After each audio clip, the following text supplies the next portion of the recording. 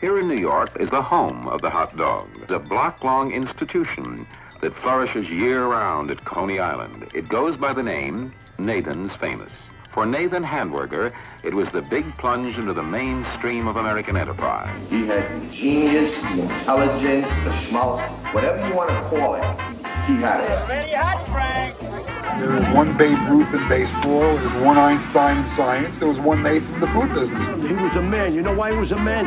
You didn't have to put nothing on papers. If you said something to him voyable, it was better than putting your signature on a piece of paper. That's how honorable he was. Mr. Cohen, how many hot dogs do you sell here? Well, roughly, we sell about 75,000 a day. I mean, you had a move. I went there, worked there one day, heavily tripping on LSD. There were tough guys came to Coney Island. Well, Nathan didn't look for friendly people. He looked for people that were like horses, who could come in at uh, 10 o'clock and work till 10 o'clock the following night.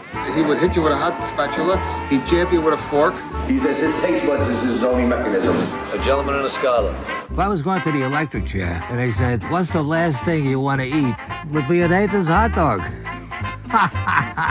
so listen, Nathan's Coney Island. All right?